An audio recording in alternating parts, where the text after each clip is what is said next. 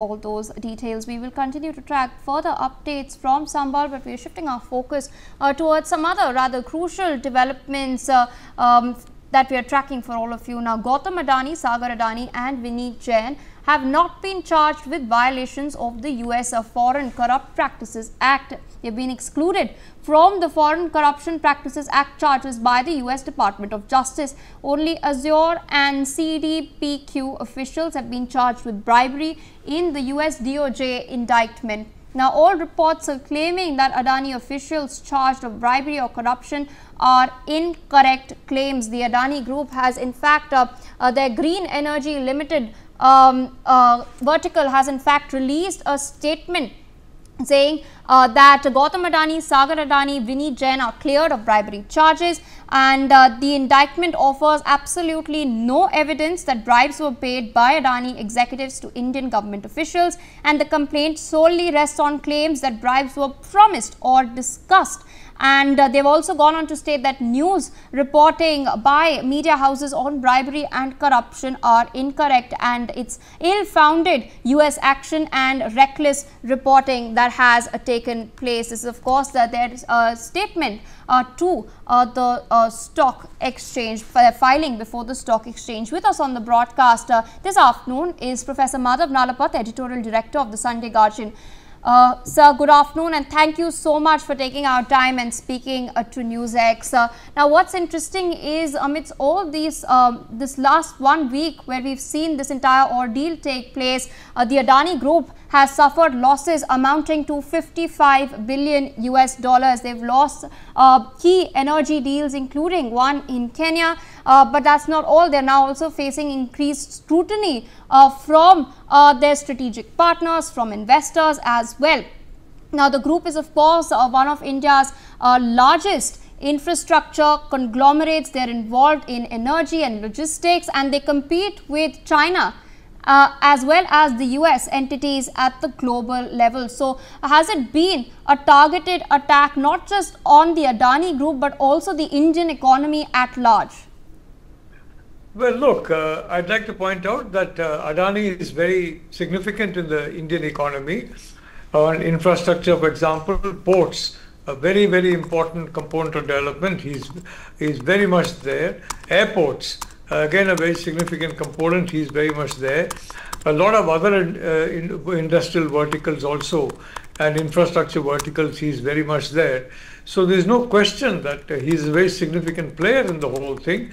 And there's also no question that this kind of a charge, uh, I mean, the fact that the that these particular charges of, of personal involvement in bribery have been withdrawn, frankly, uh, it just shows how careless the prosecutors have been because the, these are the, I mean, because of the three names being mentioned, uh, this entire uh, meltdown of stock has taken place. And we have to find out who has benefited from that, who have been you know, short sellers and, mm. and who have been benefiting from that huge fall. That's very clear. But uh, having said that, the fact of the matter is that, uh, uh, I mean, the Adanis would, the three of them have not been charged of, uh, of this, of bribery. Um, some other people in the organization have been either bribery or, or rather attempted bribery. Hmm. The point is the US is a hyper-regulated market in some areas.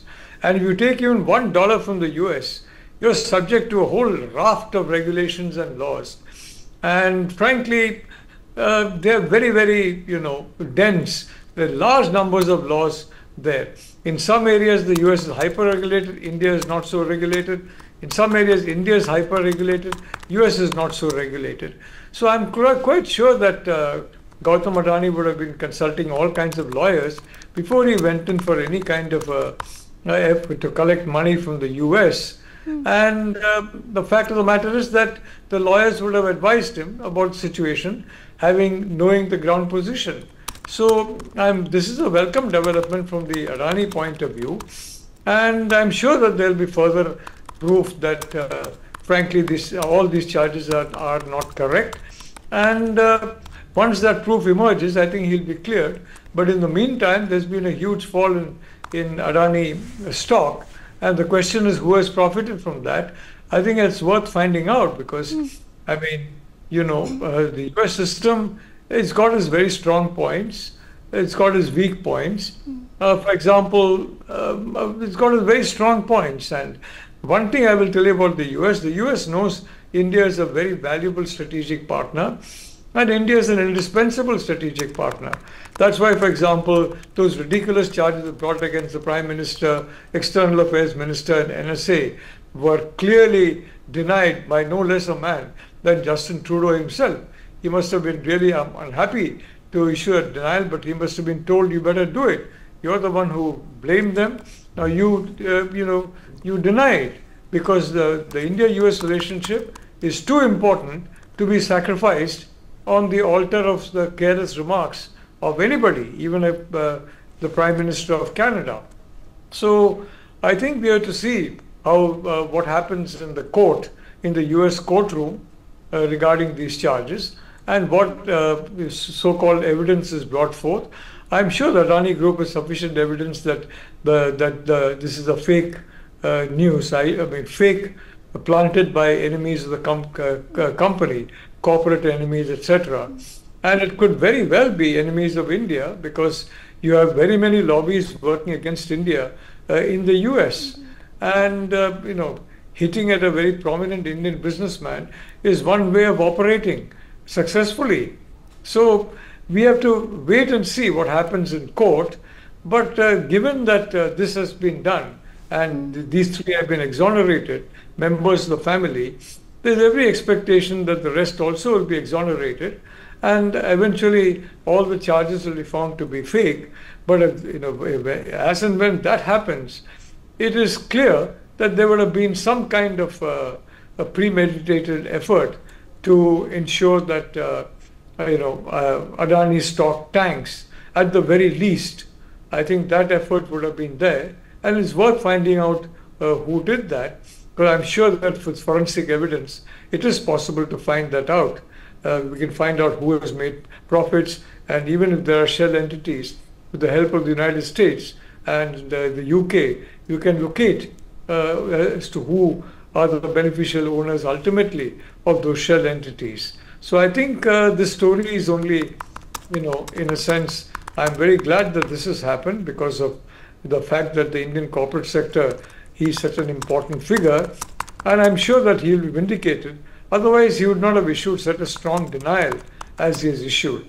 You know, he knows US law, he knows US regulation.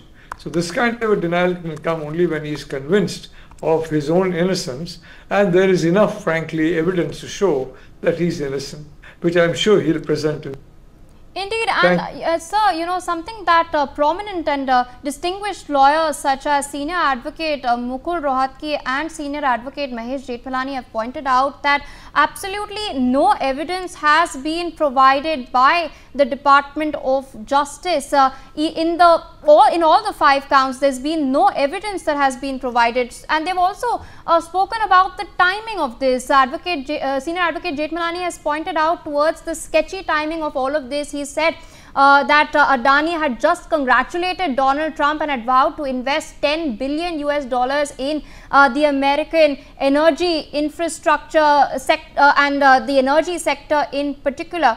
Um, so, what do you make of the timing? Do you think uh, it's just a coincidence or that could have been planned as well?